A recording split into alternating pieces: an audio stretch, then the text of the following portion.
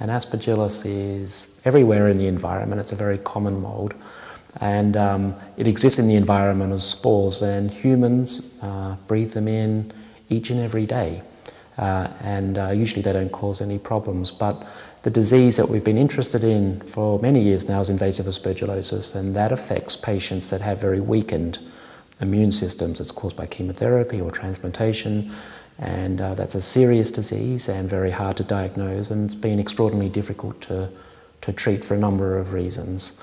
So one of the limitations of studying invasive aspergillosis and developing new diagnostics and therapeutics for humans has been the absence of um, experimental models and experimental models that are good mimics of human disease. And that's partly because of the complexity of the biology of, of mold infections, which begin as spores but then develop into invasive forms in the lung, which are completely different and, and difficult to, to, to model in the laboratory.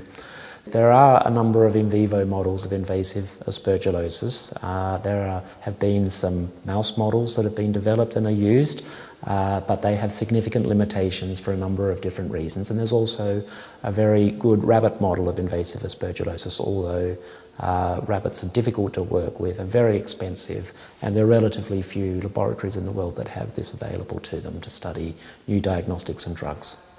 The concepts behind the in vitro model that was funded by the NC3Rs had its um, uh, beginnings when I was a fellow at the National Institutes of Health and it is a bilayer of human cells, so it's a human model, uh, and it enables human pharmacokinetics, that's the behaviour of drugs in uh, an animal or human's body to be replicated and so has the potential to be a faithful mimic of human disease in our uh, work uh, to characterize drug concentration effect relationships uh, that can take anything up to 2,000 mice, uh, depending on the complexity of the, the agent concerned, the drug concerned.